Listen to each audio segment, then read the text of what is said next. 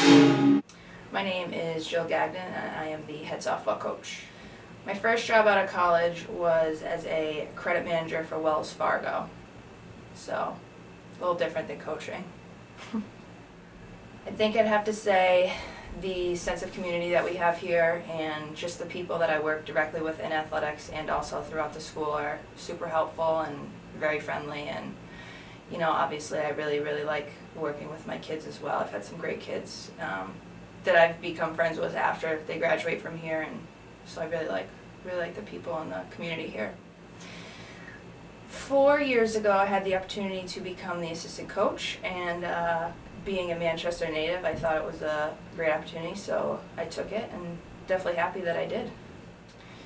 My favorite memory would probably be um, going to NCAA's two years ago. It was a huge accomplishment for the program. We hadn't been there since 2002, so that was something that, you know, I really, really enjoyed, and, and so did the girls, so.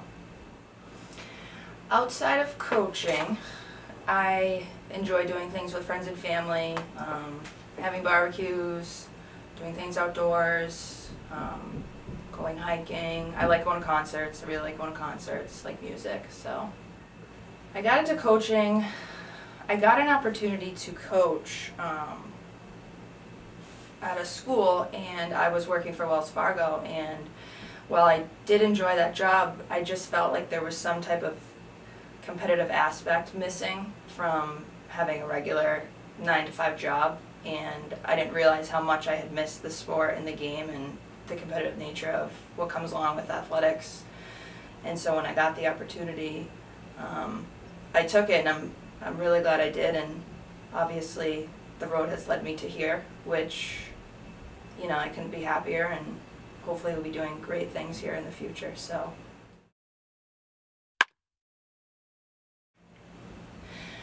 My favorite pro team is the New England Patriots. Um, best football team out there. Yes, I do definitely idolize Bill Belichick. I think he's a phenomenal coach. I've watched several documentaries about the Patriots, his coaching. Um, I just think that clearly they're, they're doing something right. And yes, I am an avid Patriots fan, and I will be watching the game every Sunday.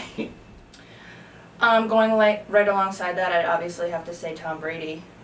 He's the GOAT. I mean, you can argue with me all you want. I've definitely got into some, uh, you know, heated conversations about Tom Brady, and I got his back all day. So I try to be productive on bus trips. Um, usually I'm looking over pitching charts and lineups and scouting material, but then usually what it turns into is me laughing at my kids um, doing ridiculous, you know, dances and karaoke sing-along, so I can't really get too much done. I try to, but they're actually, I don't mind them at all. I think they're pretty fun, hmm. so. I don't remember offhand what the last movie I saw was, but I do enjoy watching the ESPN 30 for 30 documentaries. I've seen probably every single one of those, so that's a tough one. Um,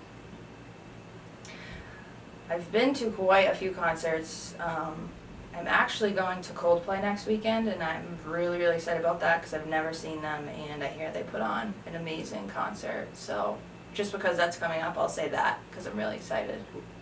I guess, you know, I already said it, making NCAAs, I mean, that was a huge accomplishment, going from not even, you know, we hadn't made the NE10 tournament in a couple years, so going from not only making that, but getting a regional bid, I mean, that was just, that was huge for us. Um, so that's definitely my most, you know, my biggest accomplishment here coaching. Um, as a player, I would say just probably pitching a no-hitter in the NE10 conference tournament to eliminate eliminate SNU would probably be the highlight of my career that I remember. So.